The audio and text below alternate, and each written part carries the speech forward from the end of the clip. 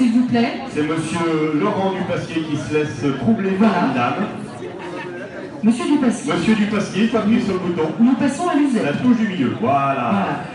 Pour euh, des dirigeants et dirigeantes bénévoles, Christine Chapa de l'UCEP Saint-Priest et Christian Fontanier de l'UCEP de Lyon.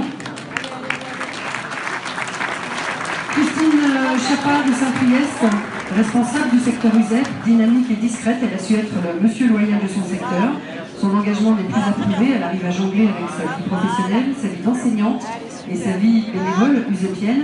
Et quand elle abandonne le costume de monsieur loyal, c'est pour être fil des ferris, puisqu'il y a peu, l'USEP ne tenait qu'un fil sur Saint-Priest, qui a dit qu'une formation cirque n'était pas utile dans la vie usépienne. C'est ce que vous avez fait, bravo à vous.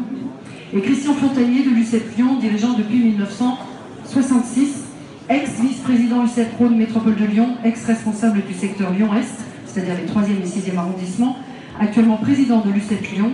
L'UCEP Lyon, avec euh, Christian, c'est droit devant, c'est Champagne et Comté, mais c'est surtout un grand Manitou sur qui l'UCEP a toujours pu compter.